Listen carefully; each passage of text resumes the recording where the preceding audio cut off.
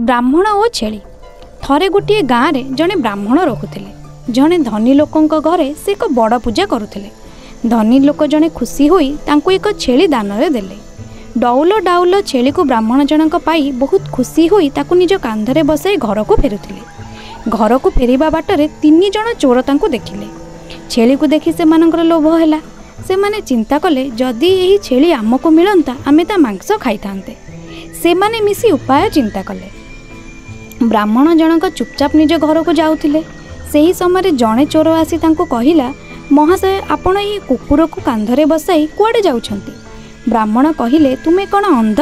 ଏହା କୁକୁର ନୁହେଁ ଏହା ଏକ ଛେଳି ବ୍ରାହ୍ମଣ ଜଣକ ପୁଣି କିଛି ବାଟ ଆଗକୁ ଯିବା ପରେ ଦ୍ୱିତୀୟ ଚୋର ଜଣେ ତାଙ୍କୁ ଆସି କହିଲା ମହାଶୟ ଆପଣ ଏହି କୁକୁରକୁ ନେଇ କୁଆଡ଼େ ଯାଉଛନ୍ତି ବ୍ରାହ୍ମଣ ଜଣ ତାକୁ ମଧ୍ୟ କହିଲେ ଏହା କୁକୁର ନୁହେଁ ଏହା ଏକ ଛେଳି। କିଛି ବାଟ ଆଗକୁ ଯିବା ପରେ ତୃତୀୟ ଚୋର ଜଣେ ତା ବ୍ରାହ୍ମଣଙ୍କୁ ଆସି କହିଲା ମହାଶୟ ଆପଣ ଏହି କୁକୁରକୁ ନେଇ କୁଆଡ଼େ ଯାଉଛନ୍ତି? ବ୍ରାହ୍ମଣ ଜଣ ତା କଥା ଶୁଣି ଭାବିଲେ ସତରେ କ'ଣ ଏହା ଛେଳି ନୁହେଁ ଏକ କୁକୁର? ବ୍ରାହ୍ମଣ ଜଣ ତାକୁ ସେହି ସମୟରେ କହିଲେ ତୁମେ ଏହି କୁକୁରକୁ ସାଙ୍ଗରେ ନେଇ ପଳାଅ। ବାସ୍ ଚୋରମାନେ ଯାହା ଚାହୁଁଥିଲେ ବ୍ରାହ୍ମଣ ସେପରି କଲେ ଚୋରମାନେ ଛେଳିକୁ ନେଇ ପଳାଇଲେ। ସେଥିପାଇଁ କୁହାଯାଏ ଗୋଟିଏ ମିଛକୁ ବାରମ୍ବାର କହିଲେ କିଛି ଲୋକ ତାକୁ ସତ ଭାବନ୍ତି। ତେଣୁ ନିଜ ବୁଦ୍ଧି ଅନୁଯାୟୀ ସର୍ବଦା କାମ କରନ୍ତୁ।